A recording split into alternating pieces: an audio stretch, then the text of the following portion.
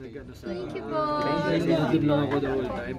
At saka nakakatuwa doon yung teleserye doon, Monday to Sunday. Tapos 2 hours per day. Ang tagal. Matagal. Paano yung taping mo?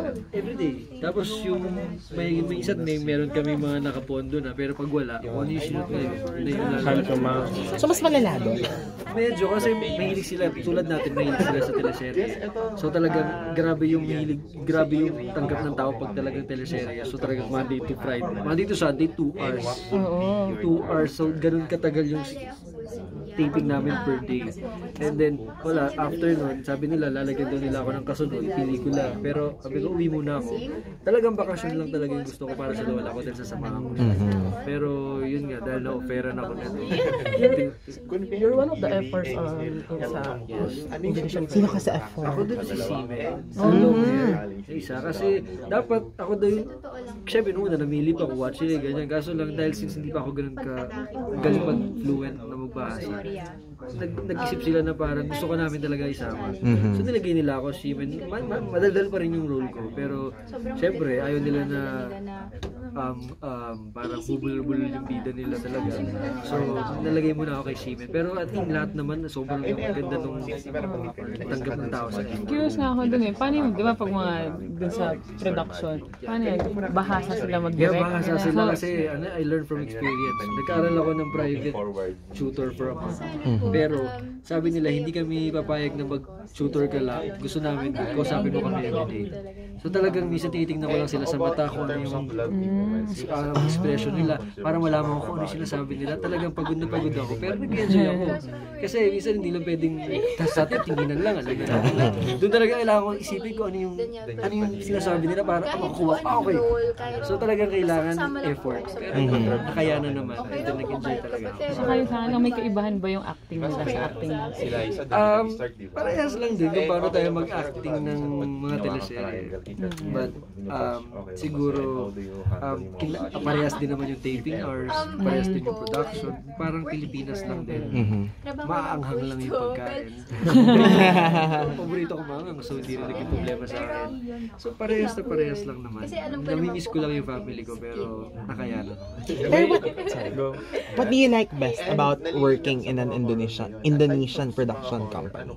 Um, siguro, hindi ko pa na-experience dito na parang sobrang kasunod dito parang yeah. astra, ah, parang ano pa kayo isimula pa lang ulit kami and then hindi pa ganun karami yung nagagawa kong project dito.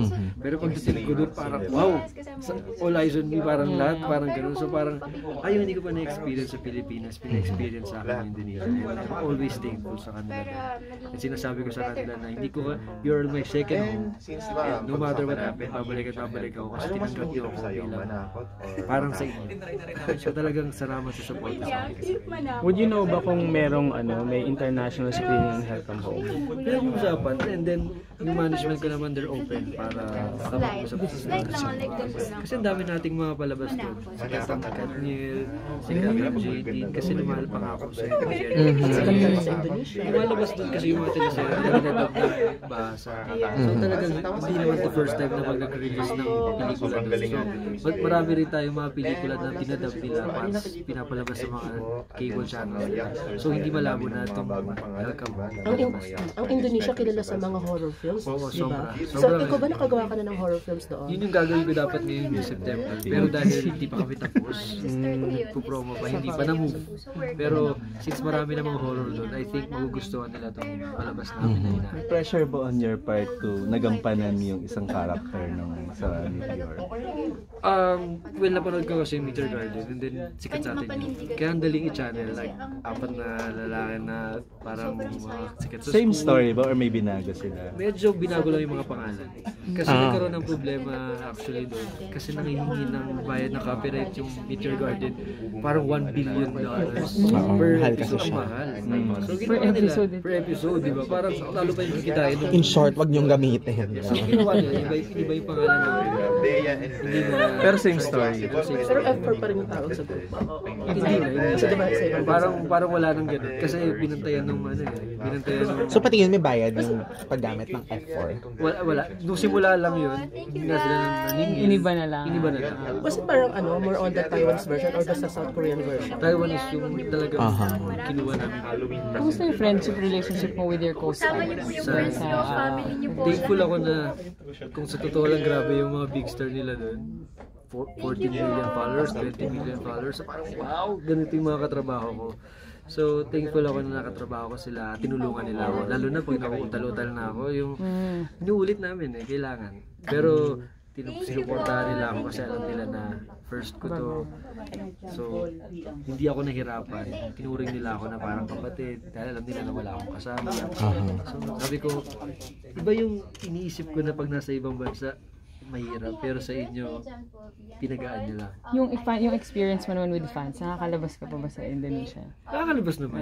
Pero grabe rin, parang sa atin din sa Pilipinas. Mm, Sobrang diehard din sila. Oo, talaga. Pero minsan pag nasa mall, naiiya sila lumapit kasi syempre Muslim country pa rin sila. Pero pag may nakita silang isang mong pinayagan, na magpupuyong Swarm na. Hindi mo alam na marami palang nagmamatsag na gusto rin.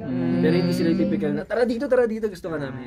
Meron pa rin silang Limit. limit. Tawag dito, meron kaya tang pelikulang ginawa yata sa ALB? Parang hindi pa na Anong anong balita doon na Ah, napapalabas na? Actually kasi pinasa namin siya sa MMFF, yung GLU. Ay, oo nga pala. Kaso ngayon yun, kaso nga lang, sadly, hindi siya nakasama sa top 8. Pero, ang sabi kasi dahil nga summer film yun, at magkakaroon daw ng Summer summer MMFF. film ng MMFF. So doon nyo I itatry. think doon po talaga siya nilagay. So, mapapatagal nga lang yung showing namin. Halos isang taon. Uwi ka ba dito para i-promote yung film? Pag nandun po ako sa Indonesia, of course, uwi ako. Pero kung mas mabigyan ako ng teleserye, nandito po ako for sure. O talagang So, pwede i-give up mo yun. yung ano mo doon? Pagka po- nagkaroon ka ng teleserye dito. Hindi naman po give up, pero gusto ko lang maging dalawa yung market. Kasi for the long run, at least kung wala akong project dito, tatawiran ako. Pag may project ako dito, man, So mas priority mo ang Philippines? o Kung kung sa project, kaya sabay na merong offer. may sabay po. Actually kasi willing naman sa Indonesia na pelikula lang. Ang tsaka ang pelikula po doon, hindi tulad dito na umaabot ng 6 months. Dahil nga, hindi pwede sabay-sabay. Oo. Doon Ikli po pag sinabing pelikula, 12 Pelikula days lang. tapos. So hihingin lang nila isang buwan. So hindi di- kaya talaga lahat tong tungkas na to, yung 12 days na yun, lock in, tapusin yung pelikula. So pwede lang ako magbakasyon ng one month doon. Mhm. Pag week ko, nakagawa na ako ng pelikula. Parang mawala, hindi lang daw ako mawala sa sa paningin nila. At kaya pwede kang mag-soap dito. Yes, pwede po. Actually, may gagawin nga kami ngayon dito. Music video. Mga si mga from Indonesia. Sila na pong lilipat sa vegan. Kasi gusto rin nilang ma, ma, ma- makita yung, ma, ma- mapakita sa Indonesia, sa Malaysia yung vegan. Are they aware, yung mga ka- co-star mo dito sa Welcome Home, aware na, na, na ano, na may project ka on Indonesia or napapagkwentuhan nyo ba, tinatanong ka nila? Sila beauty po, aware naman po. So, pero iba po, syempre, iba, oh talaga ko yan, nasa Indonesia ka pala, ganyan, ganyan. So, parang, Siyempre, siguro iba, lalo na yung mga bago, sila Miel, hindi pa naman ako siguro nakilala nung mga panahon na yun. So, first time lang po nila ako makatrabaho. Si Direk, first time lang din po ako makatrabaho. So, ayun, di lang, ako naman po, humble naman po ako sa sarili ko na marami pa naman ako dapat patunayan, lalo na sa Pilipinas. Kaya thankful ako at nagka-grab lang talaga ako ng opportunity. Sinong management mo dito? Si Miss ALB rin po, Armal Vigafria. Ah, siya pa din. ah. Parang gusto ko niya i-manage. TJ, sabi mo rin kanina nasa contract ka dun sa Indonesia.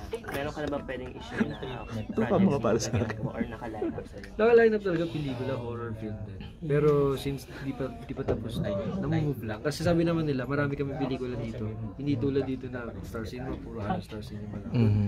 Sobrang daming uh, movie Outfit. Ang dami ding network. Yes. So daming networks din. So hindi ka mauubusan. Kailangan ka lang namin Sorry. dito. At tapos hindi ka tied sa isang network or... Doon walang network. Aha. Mean, pag artista ka, Anywhere kahit anywhere. So kung merong 50, 20 network na gusto ko interviewin, interviewin ka nila. So talagang lahat ng artista doon. Walang rivalry Lahat may ba? trabaho. Eh TJ, speaking of network, kasi it was in 2014 nung una nag-ABS, di ba? Which was in Trinidad. Tapos parang surprise yun kasi parang hindi naman naramdaman, ah, lilipat ka pala kasi nagkaroon ka naman ng magagandang projects with GMA, di ba? Ano na ang nangyari? Bakit biglang napunta ka sa ABS? Um, Well, siguro dahil after nung sa GMA, parang si Kuya Germs medyo yung nawala na rin si Kuya Germs. I mean, siguro na-offeran lang ako bigla dito sa TV. Parang, oo nga, parang hindi ko rin kasi alam kung anong gagawin namin. Yung parang si Kuya wala na rin. So parang wala pang ganun na nakalata. Mhm. And then parang sabi ng manager ko, yan, opportunity yan, bakit di mo kukunin? Tino inoferan ka naman. Tinanggap, maganda naman yung role. Tinanggap ko. And for me, at least ma- may, may bago akong experience, adventure. At si, ako, gusto ko rin naman talaga na makatrabaho dito sa ABS. Mhm. Okay. Okay. Please invite them na lang. Siguro, invite with a twist. In, in Bahasa. in Bahasa. Ito